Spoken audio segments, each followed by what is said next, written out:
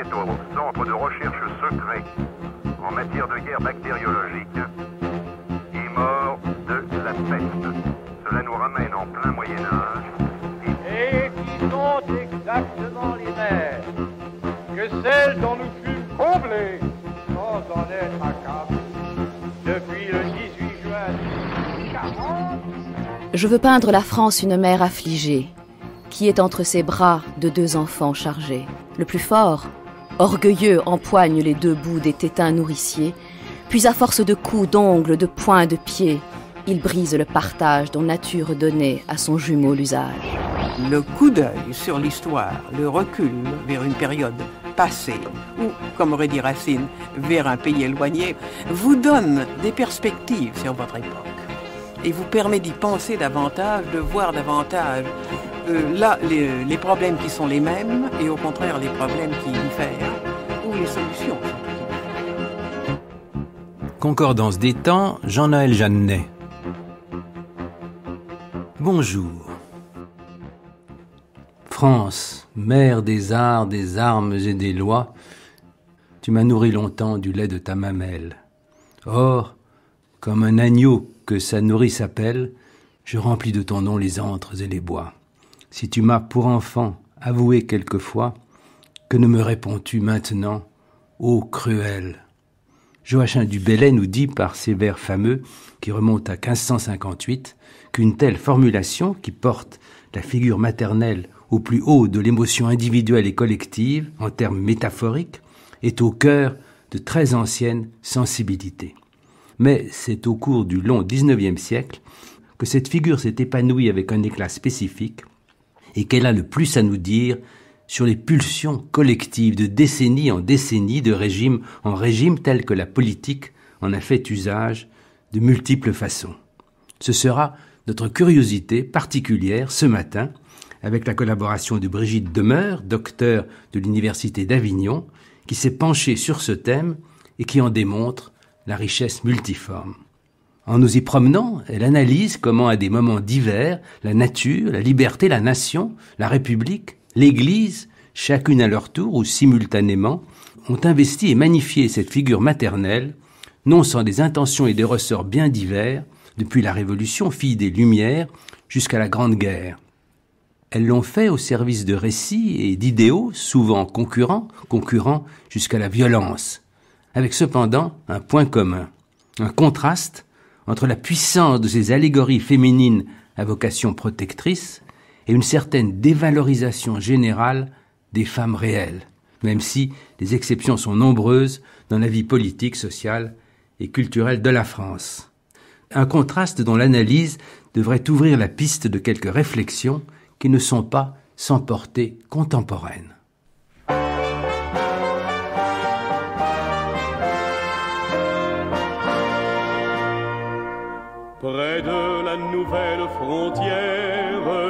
Un officier s'est arrêté à la porte d'une chaumière.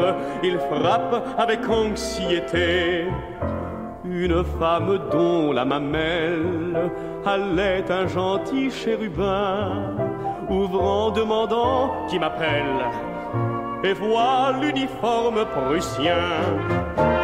Femme, dit l'officier, écoute ma prière donner ton lait. Je t'apporte un enfant, dis-moi si tu consens à lui servir de mère. Moi, je suis un soldat du pays allemand. Ce fils sur la terre lorraine né d'hier et sans compter, je paierai tes soins et ta peine, car je suis tout seul à l'aimer. Vois sa figure est rose et blonde tu peux le sauver du trépas. Sa mère, en le mettant au monde, vient de mourir entre mes bras. Femme, dit l'officier, écoute ma prière pour lui donner ton lait. Je t'apporte un enfant dis-moi si tu consens à lui servir de mère. Moi, je suis un soldat du pays allemand. J'avais un fils, dit la Lorraine, blond chérubin comme le tien.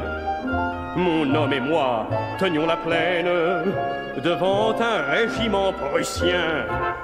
Quand tes soldats, sous de carnage, mirent le feu dans mon hameau, et sans pitié pour son jeune âge, tuèrent l'enfant dans son berceau. Va, passe ton chemin, ma mamelle est française, n'entre pas sous mon toit, emporte ton enfant mes garçons chanteront plus tard la Marseillaise.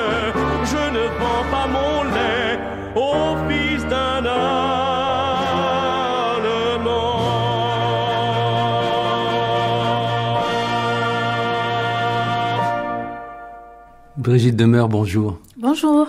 Je viens de vous proposer une chanson qui remonte à 1882, sur un ton très revanchard, 12 ans après la défaite de 70, Le fils de l'Allemand, qui est interprété ici par Christian Borel en 1963.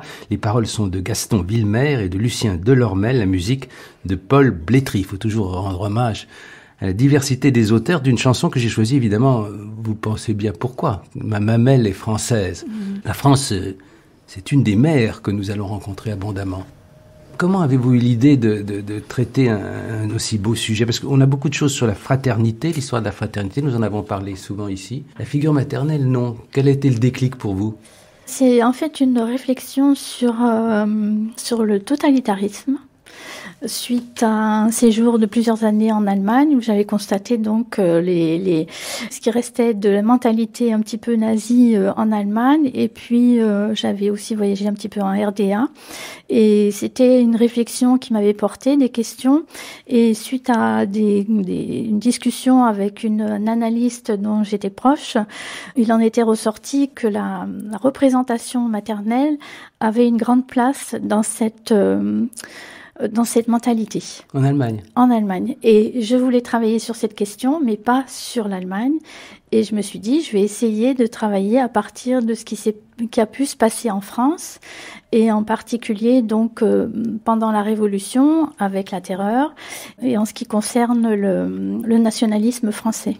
Et il est vrai, on le constate en lisant votre, votre beau livre, la figure maternelle dans la vie politique française de 89 à 14, de fait, on constate que c'est une manière originale, mais, mais, féconde, de parcourir euh, la diversité, la succession des régimes de notre pays, -hmm. effectivement, depuis euh, la Grande Révolution jusqu'à la, la, Grande Guerre, jusqu'à la Grande Guerre. Nous allons voir, voir tout cela, bien sûr. La chanson que je vous ai proposée euh, montre une figure maternelle qui incarne la France, oui. la Lorraine aussi. Oui. Mais évidemment, il y a une très grande diversité de, d'utilisation de, de la figure maternelle au profit d'entités très différentes. Brigitte Demeure. On retrouve effectivement cette figure maternelle sous toute forme. On, peut partir de la patrie, de la France, de la nature, de la déesse Cérès, de la déesse Isis, euh, jusqu'à Déméter, effectivement. Il y a Marianne, il y a la République. On retrouve aussi euh, euh, de façon très importante la figure de l'humanité dans la philosophie positiviste de Auguste Comte, qui est reprise donc à la fois par les théoriciens de l'extrême droite, Maurice Barrès et Charles Maurras, mais aussi, par exemple, des, des socialistes comme Jules Gued, qui interprètent cette figure maternelle associée à la communauté euh, politique euh, euh, dans ses écrits. Eh bien voilà déjà une table des matières de, notre conversation, une description de ce que nous allons avoir à, examiner de, plus près pour démontrer à quel point cette figure maternelle a pu être plastique, à quel point elle a pu investir toutes sortes d'abstractions, non sans conséquences politiques, évidemment très concrètes et très importantes. Je voudrais revenir un peu en arrière, avec votre permission, avant oui. la Révolution sur laquelle nous allons oui. insister, parce que, évidemment, la figure maternelle ne date pas mm -hmm. de, 1700, de 1789. Oui. On peut remonter loin en arrière, et je vais vous le démontrer s'il en était besoin, en vous donnant à entendre un très beau poème d'Agrippa d'Aubigné. C'est tragique. Je veux peindre la France, une mère affligée. On est euh, au moment de, des, guerres de religion. Agrippa d'Aubigné est un, auteur flamboyant du côté du, du protestantisme. Vous allez voir d'ailleurs que les deux frères ne sont pas traités de la même façon. Il y a Jacob et Ésaü. Euh, il y a un bon et un moins bon euh, qui se déchirent et qui vont gâcher le, lait de leur mère. Écoutons Agrippa d'Aubigné, Les Tragiques, c'est un poème qui est publié euh, deux ou trois décennies après la fin des guerres de religion, en 1616, et qui est lu ici par Léili Anvar sur France Culture le 31 mai 2011. Je veux peindre la France, une mère affligée. Je veux peindre la France, une mère affligée, qui est entre ses bras de deux enfants chargés. Le plus fort, orgueilleux, empoigne les deux bouts des tétins nourriciers, puis à force de coups, d'ongles, de poings, de pieds, il brise le partage dont nature donnait à son jumeau l'usage. Ce voleur acharné, cet Ésaü malheureux, fait dégâts du doulet qui doit nourrir les deux. Si que pour arracher à son frère la vie, il méprise la sienne et n'en a plus envie. Mais son Jacob, pressé d'avoir jeûné ici, ayant dompté longtemps en son cœur son ennui, à la fin se défend, et sa juste colère rend à l'autre un combat dont le chant est la mer. Ni les soupirs ardents, les pitoyables cris, ni les pleurs réchauffés ne calment leurs esprits, mais leur rage les guide et leur poison les trouble, si bien que leur courroux, par leurs coups, se redouble. Leur conflit se rallume et fait si furieux que d'un gauche malheur ils se crèvent les yeux. Cette femme éplorée, en sa douleur plus forte, succombe à la douleur mi-vivante, mi-morte. Elle voit les mutins tout déchirés, sanglants, qui ainsi que du cœur des mains se vont cherchant.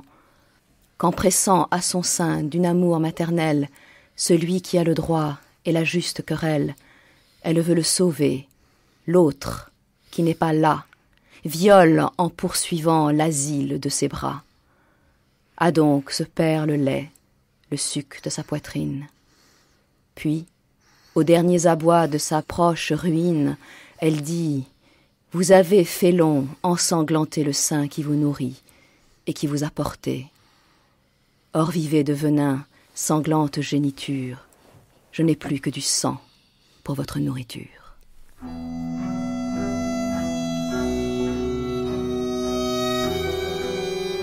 Brigitte demeure euh, le plus souvent la figure maternelle dont vous parlez pour tout le XIXe siècle est une figure qui, unifie. Ici, au contraire, elle doit constater ce qui déchire ses, descendants. Cette figure, d'ailleurs, continue d'être invoquée, évoquée euh, au XVIIe siècle. Je, pense à Bossuet. Tout à fait. Pour Bossuet, il faut nourrir le peuple au lait de la doctrine catholique. Et la doctrine catholique, donc, euh, c'est la, mère euh, première qui l'associe aussi à la France, à la patrie. Euh, et, la, et toutes les écrits de Bossuet seront importants non seulement à son époque, mais bien après, jusqu'à la fin du quasiment du 19e siècle. Le lait toujours. Le lait toujours, le lait de la doctrine catholique. Venons-en à votre mhm. chère révolution. Effectivement, mhm. surgit avec une grande force et s'impose l'image de la figure maternelle. Mhm. Euh, donc, ça se passe. Euh, la figure maternelle est déjà présente avant la Révolution et pendant les États généraux. Avant la Révolution, euh, le langage de la patrie et du patriotisme fait partie d'une rhétorique très, très, très commune. Et les hommes de lettres et les parlementaires essayent de se référer donc à une communauté imaginée et à une patrie formée de citoyens vertueux qui cherchent le bien public. Mais cette patrie, dans ce contexte-là, elle est assez passive. Ce sont euh, les fils de cette patrie qui doivent l'aider à euh, trouver ce bien public et à parvenir à la bienfaisance générale. Mais vous avez repéré déjà toute une série, toute une litanie de textes qui font allusion à la mère, qui associe la mère à la, à la patrie. Je vois par exemple Rabot Saint-Étienne, oui. le protestant, qui dit euh, que l'éducation nationale est la mère commune de tous les citoyens, qui leur donne à tous le même lait, qui les élève et, les traite en frères, et qui, par la communauté de ses soins, leur donne cet air de ressemblance et de famille qui distingue un peuple ainsi élevé de tous les autres peuples de la terre. Fin de citation. Tout à fait, oui, oui. C'est euh, donc en pleine révolution quand il s'agit de convaincre la population des bienfaits de la révolution et de tous les bouleversements qui se mettent en place. Du côté de, de, des Girondins aussi, Condorcet et les autres, euh, ils font également appel largement à cette métaphore. Pour Condorcet, effectivement, la nature, euh, c'est une, euh, c'est une référence première. Il l'utilise moins comme euh, métaphore, mais euh, c'est une référence première et pour lui c'est surtout la raison. La raison qui doit parvenir à, à décrypter les lois de la nature et il essaye d'éviter de se, de faire, euh, d'avoir recours à l'imaginaire, parce que pour lui, l'imaginaire, c'est le piège.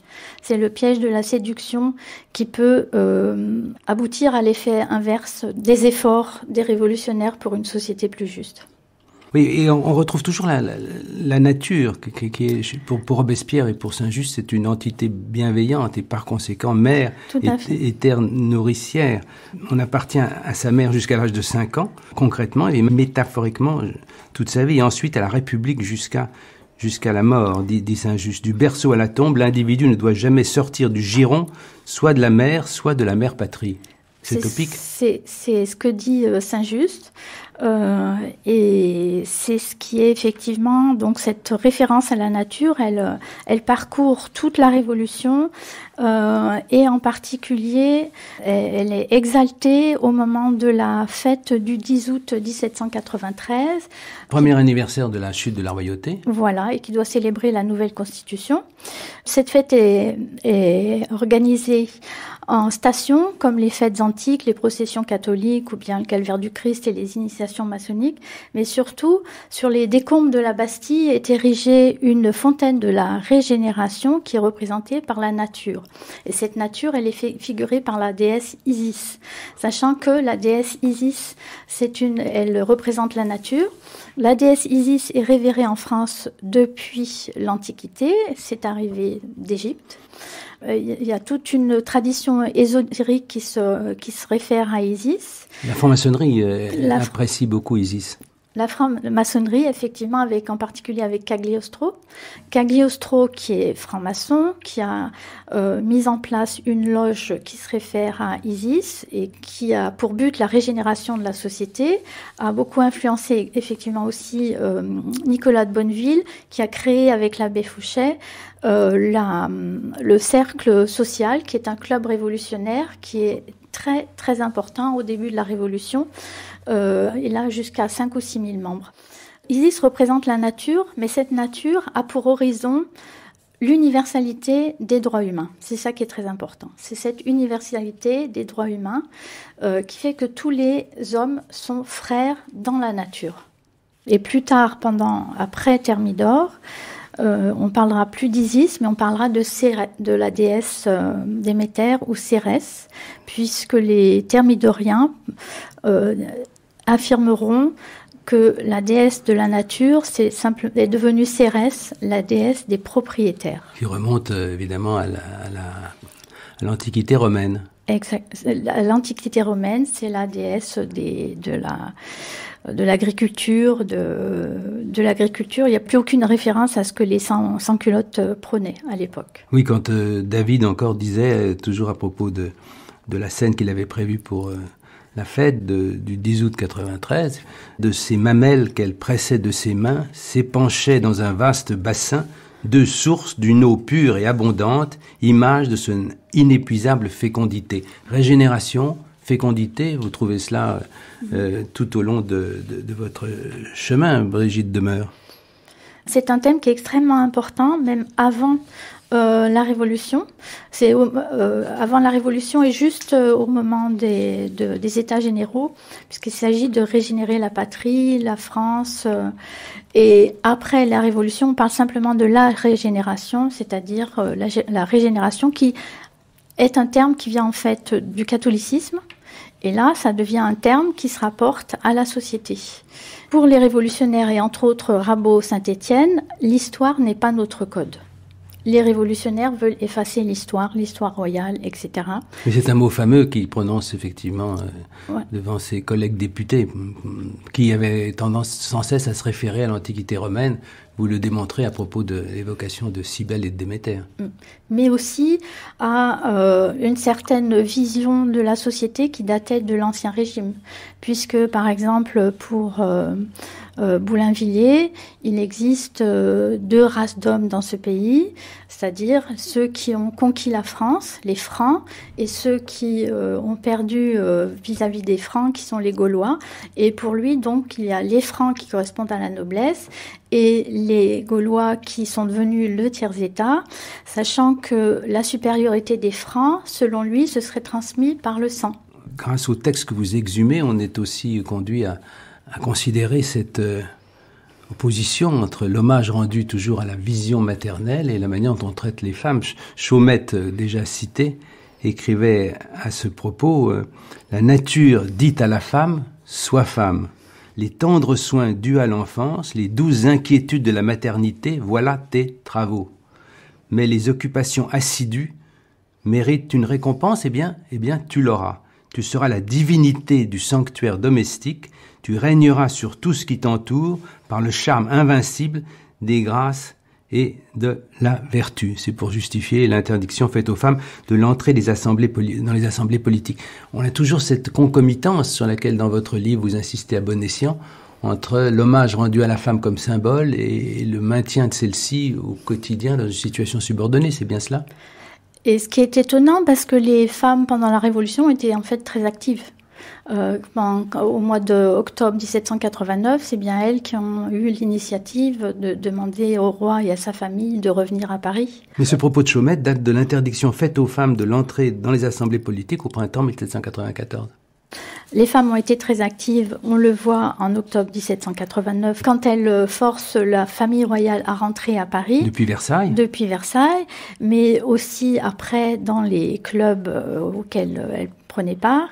Et c'est en 1793 que Robespierre décide de leur interdire euh, la, participation à la vie publique, déjà en 1793. Alors, il faut que nous avancions pour voir comment, euh, quelles sont les, les, les, formes que va prendre cette figure maternelle à mesure que nous entrons dans le 19e siècle. Il faut en venir à, à Napoléon, qui, qui s'affirme comme euh, le premier de tous les fils de France. Et on passe de la- l'allégorie de la nature aux métaphores maternelles de la patrie. Ça existait déjà sous la Révolution. Mais enfin, ça s'affirme. Euh, et de, cela, vous, témoignez par des textes nombreux. Au fur et à mesure de son, de son parcours politique, Napoléon s'aperçoit ou a, conscience de l'importance de la religion euh, comme appui pour euh, faire respecter ses décisions. Et il a en particulier des difficultés à contraindre les populations au paiement de l'impôt et puis à la conscription et au maintien de l'ordre. Et pour lui, il n'y a que la religion qui donne à l'État un appui ferme. Donc il retrouve, il retrouve la tradition de, de, de l'Église comme, comme maternelle aussi, Tout à fait. De l'Église comme euh, une mère, en sautant par-dessus la Révolution, c'est ça que vous nous dites? voilà. Et surtout, Napoléon est né le 15 août. Et il utilise le fait qu'il soit né le 15 août pour se référer à, L'Assomption. à à de la Vierge. Donc il devient en fait très proche de la, de la représentation maternelle de la Vierge. Et il demande à l'Église de lui fabriquer un Saint Napoléon qui serait né le 15 août. Donc on a euh, Napoléon né le 15 août, le, le- la fête de la Vierge. Ça correspond aussi à effectivement la déesse Cérès, puisque c'est le moment euh, de la récolte des céréales. Avec, le, quin- avec son anniversaire qui a lieu le 15 août, qui est associé à la Saint-Napoléon qui est fabriqué par, à sa demande par l'Église. Voilà que la Vierge Marie, effectivement, est la nouvelle euh, incarnation de la figure maternelle. À la Sainte Vierge, il associe Isis, à nouveau. Elle ressurgit. Elle ressurgit. Elle ressurgit parce que donc il y a son voyage en Égypte qui a été très important pour lui. Plus qu'un voyage, une guerre. Une guerre et un voyage et une, une aventure. Et donc il va as- associer la déesse Isis, sachant que la nef de Paris qui orne le sceau et le blason de la ville au moins depuis le XIVe siècle est le même que la nef d'Isis. Donc il demande à ce que la déesse Isis soit portée sur le blason de la capitale. On voit donc arriver la Sainte Vierge et, par là, il, peut y avoir un glissement du côté des, opposants de, la, Révolution. Je pense à un auteur aussi important et influent que le vicomte de Bonald, auquel vous, consacrez des pages tout à fait intéressantes. Euh, donc euh, c'est une tradition qui, qui, va continuer du côté des, ultras sous la Restauration jusqu'à Charles Maurras, jusqu'à l'Action française. On trouve dans ces, dans ces ouvrages plusieurs allégories maternelles, la nature, la monarchie et, et, la République, mais la République comme euh, une marâtre. Une marâtre et un repoussoir. En fait, Bonald utilise aussi les, figures maternelles dans ses discours et dans ses écrits. Et il associe la nature et la monarchie. La nature sait que l'homme n'est pas bon, euh, et elle sait que pour que le peuple soit heureux, il ne doit pas détenir le pouvoir. Et c'est la monarchie qui doit détenir le pouvoir parce que c'est la monarchie qui sait ce qui est bon pour le peuple. Donc deux, entités allégoriques maternelles qui sont alliées, qui l'opposent à une troisième allégorie qui est également maternelle, qui est la République et qu'il déteste. La République est un gouvernement contre nature. La République est un gouvernement contre nature et c'est exactement ce qu'il explique. Et comme vous le disiez si bien, il a c'est l'ultra de la Restauration et il a une influence. Les écrits de Bonald auront une influence jusqu'à Maurras et jusqu'à l'Action française. Je voudrais maintenant que nous disions un mot de, Marianne. Marianne parce que c'est aussi une, incarnation à partir notamment de 1848. Marianne chère à Maurice Agulon, qui, qui a beaucoup travaillé sur euh, cette, euh, cette figuration de, la République, qui remonte en fait à l'époque de la Révolution, du côté du Tarn, mais, qui est encore... Euh, a encore une influence assez limitée, qui prend vraiment tout son essor en 48. Je crois qu'il faut, en hommage à Agulon, euh, lui donner la parole. Je l'avais invité dans Concordance des temps le 2 décembre 1999 et il parle ici de l'allégorie de la République, ce qui prépare une réflexion sur, une fois la restauration dépassée et la monarchie de juillet tombée, conduira à la révolution de 48. Écoutons Maurice Agulon. Pourquoi représenter allégoriquement euh, la République, la liberté, la justice, la science, la, euh, Loire, la Garonne, la France, l'Allemagne? Euh, Pourquoi? C'est un problème qui dépasse les historiens du contemporain. C'est un grand fait anthropologique européen. Cela dit, à partir du moment où on est en république et où on estime que l'État ne doit pas seulement faire des lois, mais se faire voir, se faire représenter, ce qui est important tout de même pour les gens simples, euh, il faut une allégorie de la République. Alors la décision euh, prise quelques jours après la proclamation de la République, c'était évidemment, euh, puisqu'on avait changé de régime, de changer d'image et d'emprunter pour représenter la République, euh, la vieille allégorie de la liberté, c'est-à-dire une femme, puisque au féminin c'est toujours une, femme qu'il peut s'agir, et une femme avec un bonnet phrygien. C'est l'origine de toute cette histoire. Mais c'est l'origine aussi pour les artistes, pour les peintres, les sculpteurs, les graveurs, les caricaturistes, d'une séquence extrêmement compliquée parce que la femme à bonnet phrygien euh, représente tantôt la liberté et tantôt la République par une convention récente. Euh, c'est une histoire d'évolution. Et puis, euh, on est arrivé insensiblement, inconsciemment presque, du fait même de la victoire du régime républicain dans notre pays à l'identification à la France. La femme à phrygien, autrefois, c'était surtout la République et une affaire de politique intérieure. Depuis euh, que euh, la République a gagné, c'est plutôt la République par opposition ou par différence avec les euh, autres nations. Voilà une belle démonstration, euh, Brigitte demeure de, de la plasticité de cette figure maternelle. Et je voudrais qu'on s'attarde un instant. Marianne, c'est essentiel, non? Oui, Marianne, c'est essentiel. C'est une figure euh, maternelle qui est reprise, qui est très euh, importante pour euh, les révolutionnaires qui sont persécutés pendant la, pendant la Restauration.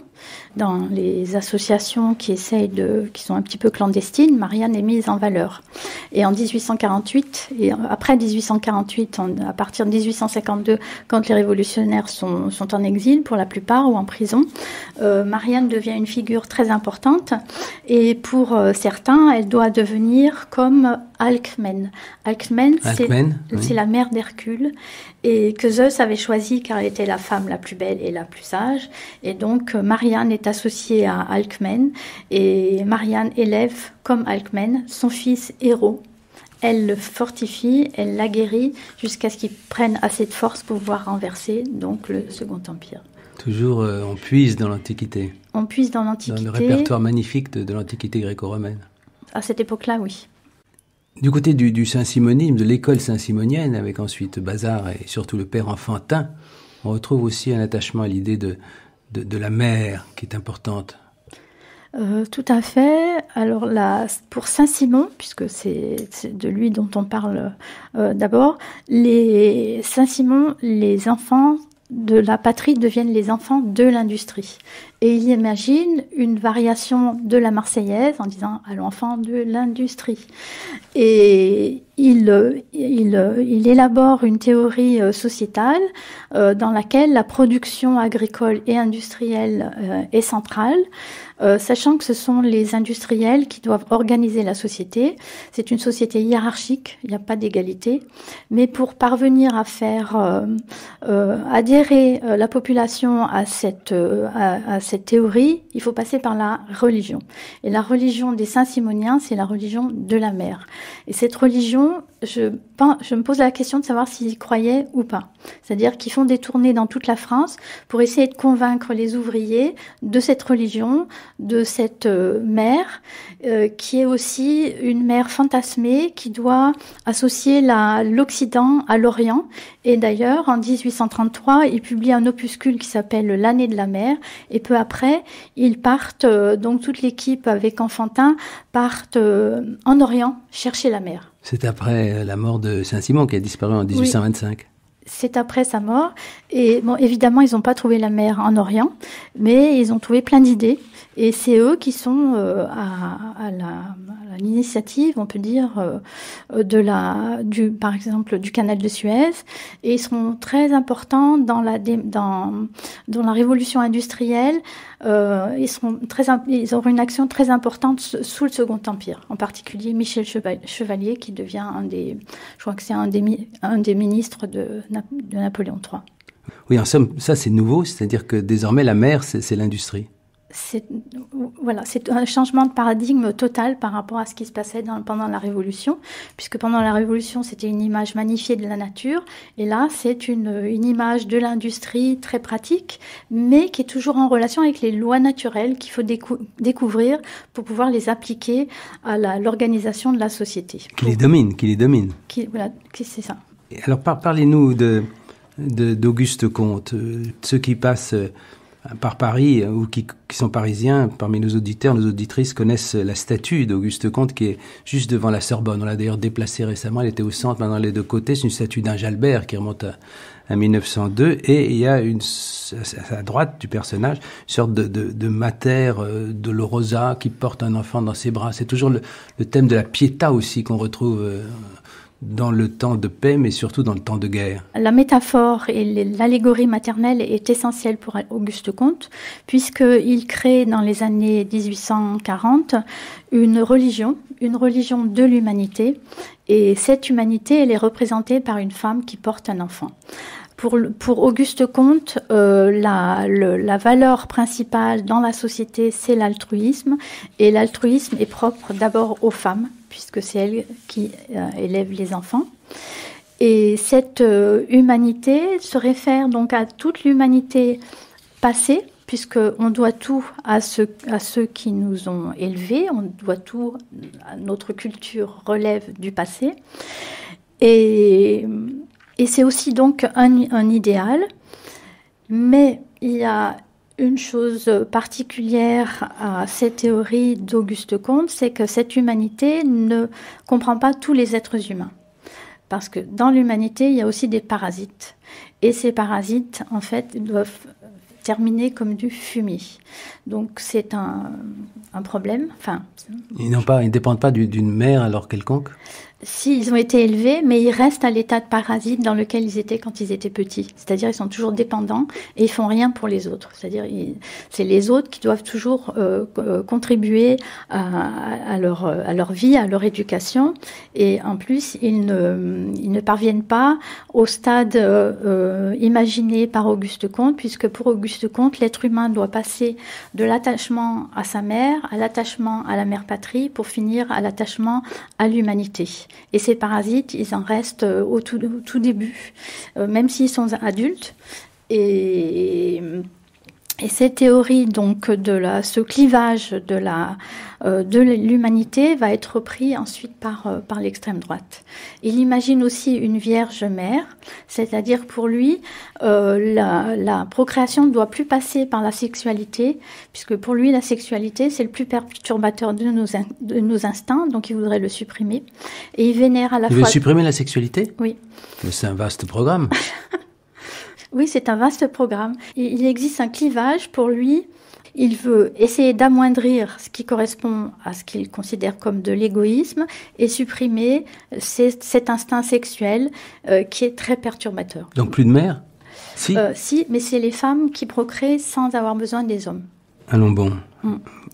Eh bien, eh bien, alors je voudrais qu'on dise un mot aussi du romantisme politique, parce que on s'est beaucoup, on s'est beaucoup préoccupé de ce côté-là de, de, l'image de, la mère, ce qu'elle pouvait signifier. Je pense à Michelet, par exemple, toute son histoire de la Révolution, ses, ouvrages, La femme 1860, la Bible de l'humanité en 64, il évoque Isis, votre chère Isis, mhm.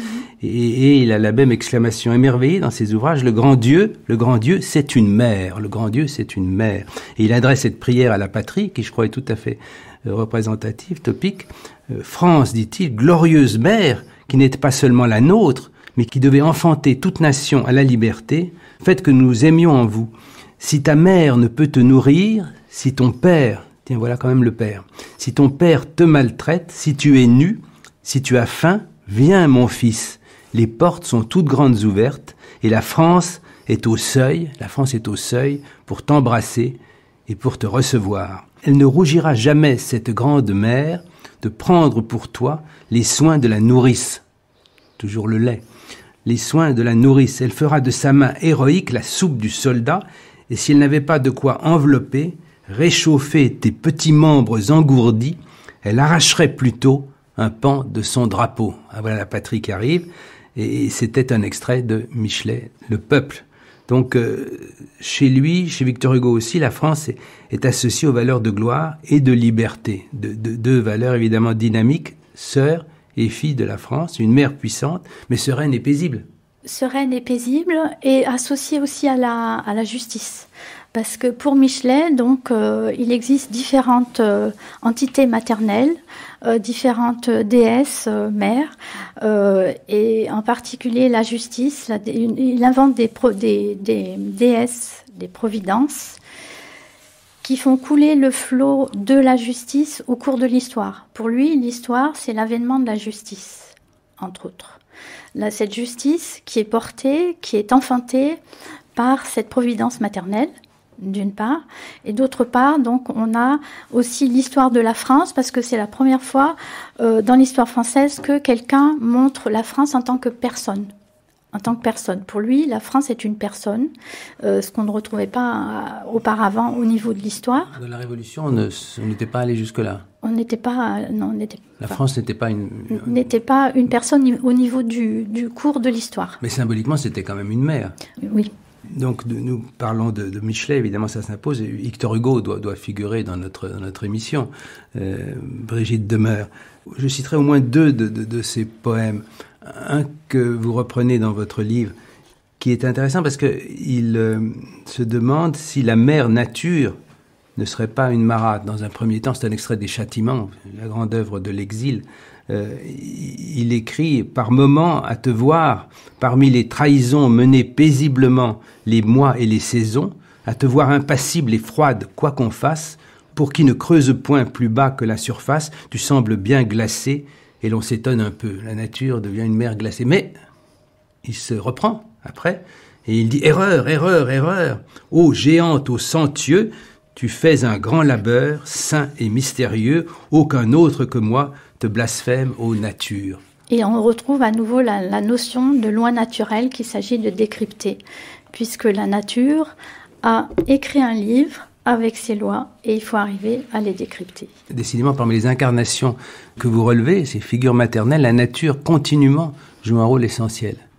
Mais jusqu'à l'action française. Jusqu'à l'action. Jusqu'à Maurras.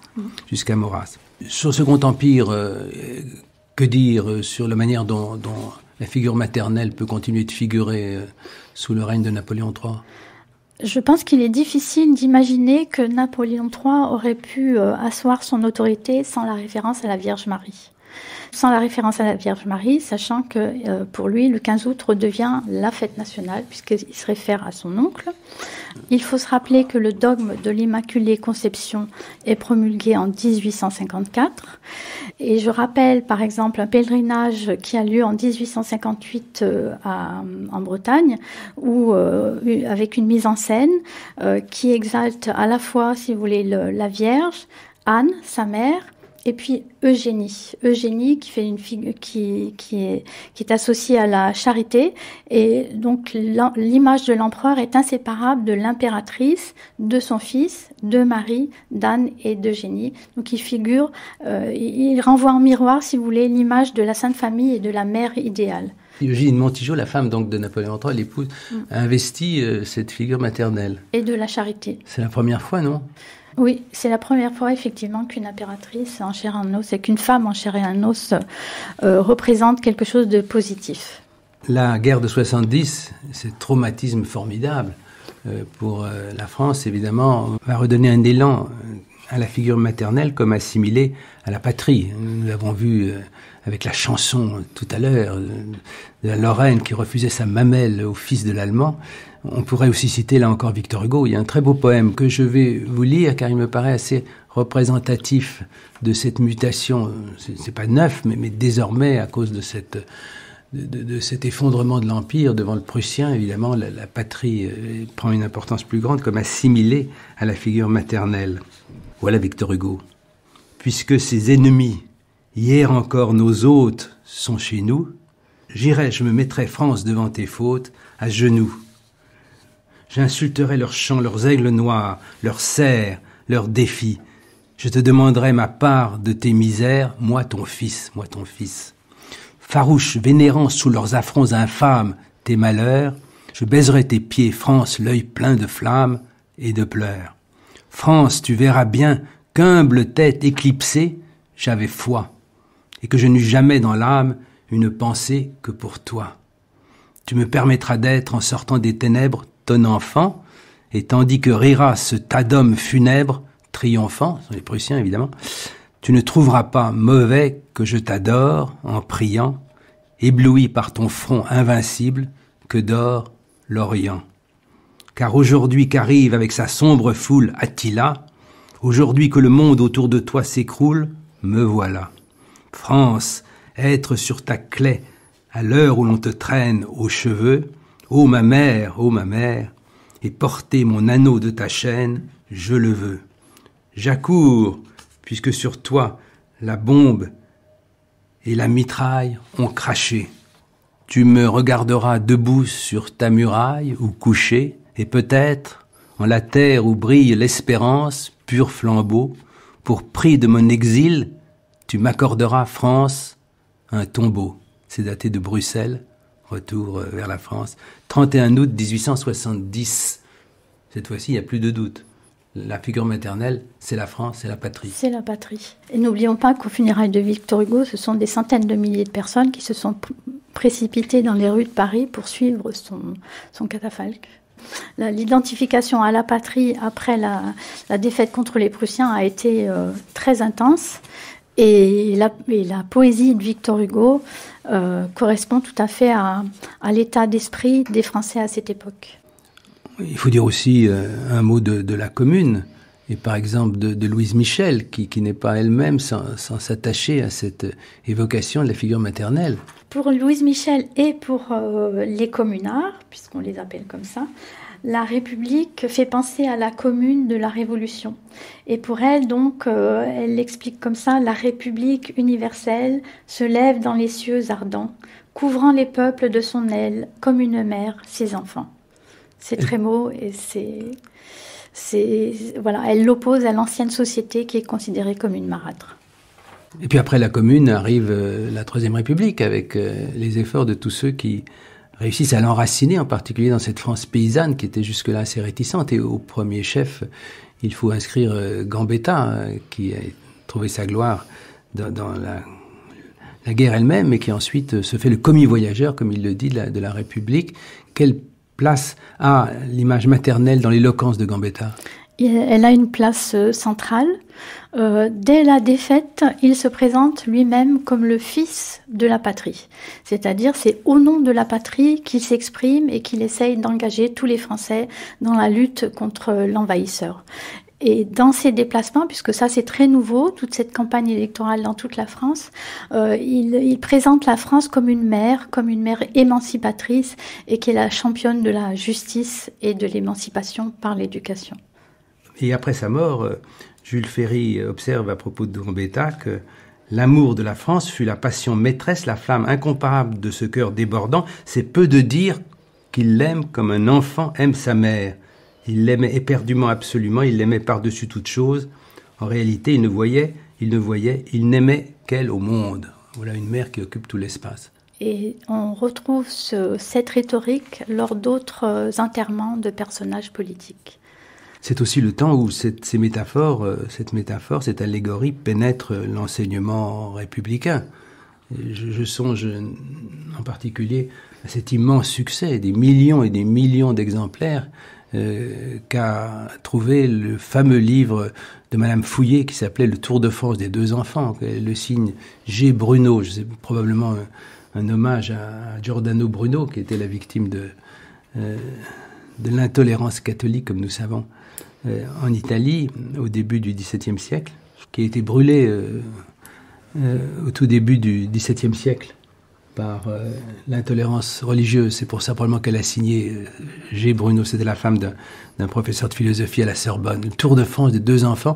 Il faut que je vous en fasse écouter un extrait, le tout début en fait, qui explique pourquoi le père mourant a souhaité en fait placer ces deux petits garçons qui vont commencer à faire ce tour de France sous les, auspices de, la France conçue comme maternelle. On se trouvait alors en 1871, peu de temps après la dernière guerre avec la Prusse. À la suite de cette guerre, l'Alsace et une partie de la Lorraine, y compris la ville de Falsbourg, étaient devenues allemandes. Les habitants qui voulaient rester français étaient obligés de quitter leur ville natale pour aller s'établir dans la vieille France. Le père d'André et de Julien, un brave charpentier veuf de bonheur, qui avait élevé ses fils dans l'amour de la patrie, songea comme tant d'autres Alsaciens et Lorrains à émigrer en France. Il tâcha donc de réunir quelques économies pour les frais du voyage et il se mit à travailler avec plus d'ardeur que jamais. André, de son côté, travaillait courageusement en apprentissage chez un serrurier. Tout était prêt pour le voyage, L'époque même du départ était fixée, lorsqu'un jour le charpentier vint à tomber d'un échafaudage. On le rapporta mourant chez lui. Pendant que les voisins couraient chercher du secours, les deux frères restèrent seuls auprès du lit où leur père demeurait immobile comme un cadavre. Le petit Julien avait pris dans sa main la main du mourant, et il la baisait doucement en répétant à travers ses larmes, de sa voix la plus tendre, Père, Père comme si cette voix si chère avait réveillé chez le blessé ce qui lui restait de vie. Michel Volden tressaillit. Il essaya de parler, mais ce fut en vain. Ses lèvres remuèrent sans qu'un mot pût sortir de sa bouche. Alors une vive anxiété se peignit sur ses traits. Il sembla réfléchir comme s'il cherchait avec angoisse le moyen de faire comprendre à ses deux enfants ses derniers désirs. Puis, après quelques instants, il fit un effort suprême, et soulevant la petite main caressante de Julien, il la posa dans celle de son frère aîné.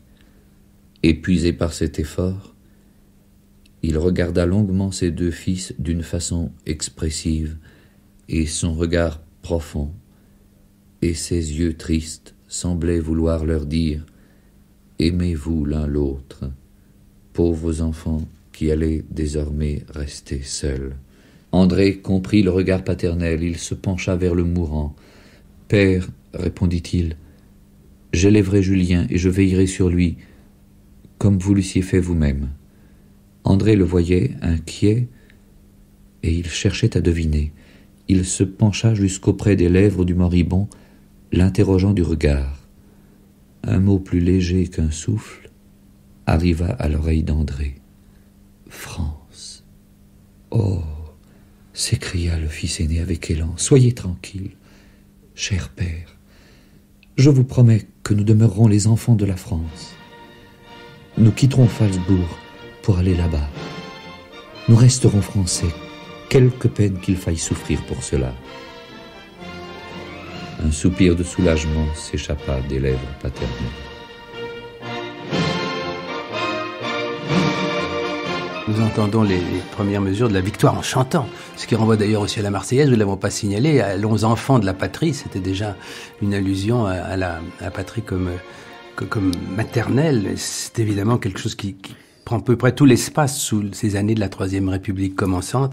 Je pense à l'enseignement particulier. Je pense à la grande figure de, Ferdinand Buisson, l'auteur du dictionnaire de, de, pédagogie, qui est protestant et qui, au fond, rejoint un peu par-delà les siècles cet Agrippa d'Aubigné que nous entendions tout à l'heure, magnifique poète.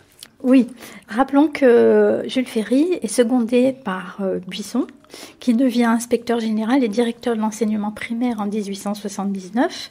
Et la patrie de Buisson, dans, dans ses manuels, elle demande à ses enfants de s'aimer mutuellement.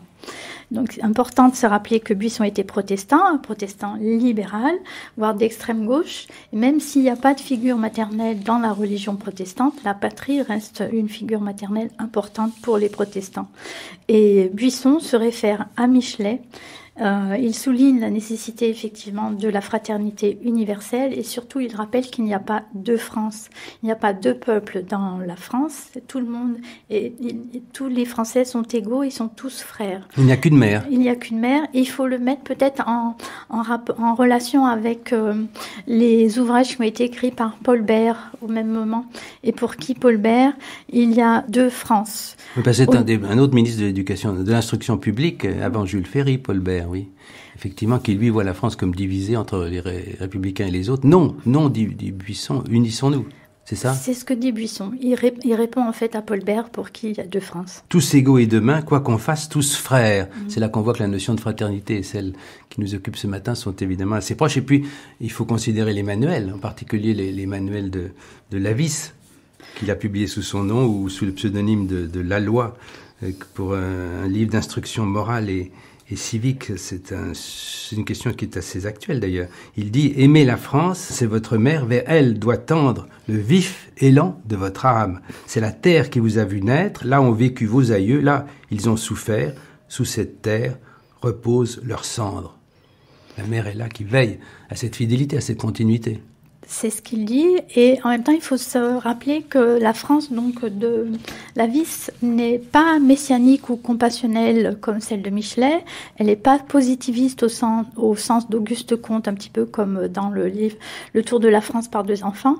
La France de la vis n'est pas un idéal à atteindre. Elle correspond à une histoire. C'est la meilleure des patries qui porte le plus, haut les valeurs de la civilisation. Du côté des, républicains, est-ce qu'on trouve euh, ces métaphores maternelles guerres chez, chez, chez Jaurès, ou chez, chez chez, chez Paul Brousse, mais assez souvent sous la plume des socialistes qui, qui se présentent comme, les militants socialistes qui se présentent comme fils de la Révolution française et, qui ne peuvent, disent-ils, je cite un, un article de 1879 qu'ils ne peuvent qu'aimer cette mère émancipatrice, cette révolution de justice et d'égalité qui prit date euh, en août 1789. Cette mère émancipatrice. C'est ce que dit, c'est ce que répètent euh, continuellement tous les républicains de Ferry jusqu'à jusqu'à 1914, on peut dire ça comme ça. C'est cette euh, notion d'émancipation par l'éducation qui est vraiment essentielle. Évidemment, l'image de, de maternelle se, se, retrouve pendant la Grande Guerre.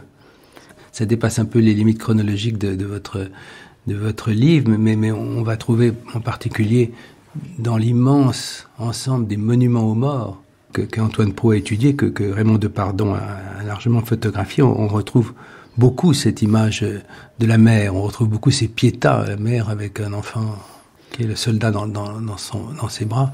Permanence, non euh, Brigitte demeure. Ah oui, c'est une permanence, euh, une permanence qui vient des fonds des âges en fait. Hein. Cette Pietà, euh, la Vierge avec son fils mourant, le fils en tant que victime de la méchanceté des hommes.